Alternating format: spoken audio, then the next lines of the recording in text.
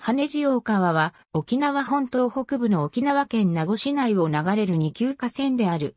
名護岳から 1.5km 南東の谷間にある、上阿蘇河原に発し、東を田野学、西を名護岳に挟まれた山間を蛇行しながら、北へ流れる。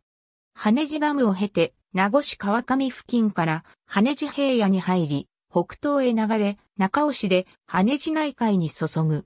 レッドデータブックに記載されている生物として、細アヤギヌ、タニコケモドキ、淡水ベニマダラなどの藻類、台湾金魚、タウナギなどの魚類、沖縄平磯ガニ、荒本サーガニなどの甲殻類、琉球ハグロトンボ、沖縄サナエ、カラスヤンマなどの昆虫が確認されている。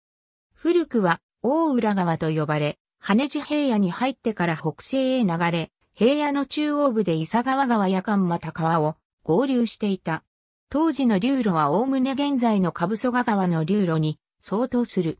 しばしば洪水を引き起こし、その度に流路が変わるありさまであった。特に1735年7月、台風によって多くの水田が流出する被害があった。このため、琉球王府は工事監督者として、西音を派遣し、同年8月23日から11月14日にかけて大規模な改修工事が行われた。これにより、大浦川と伊佐川川の流路が分けられ、新たな水田も開かれた。流域の山林は樹木の伐採や開墾が制限されていたが、明治20年代後半から旧士族に払い下げられ開墾が進められた。1906年、山崩れの土砂が川を塞ぎ、これが決壊することにより、洪水となった。堤防が決壊し水田に大きな被害があった。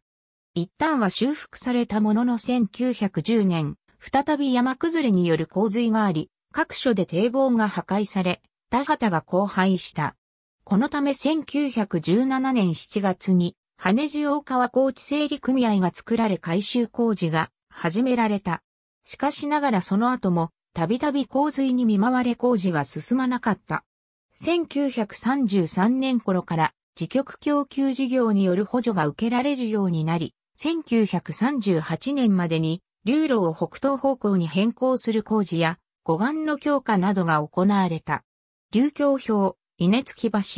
水門水質データベース、国土交通省水管理、国土保全局区、2016年1月10日閲覧、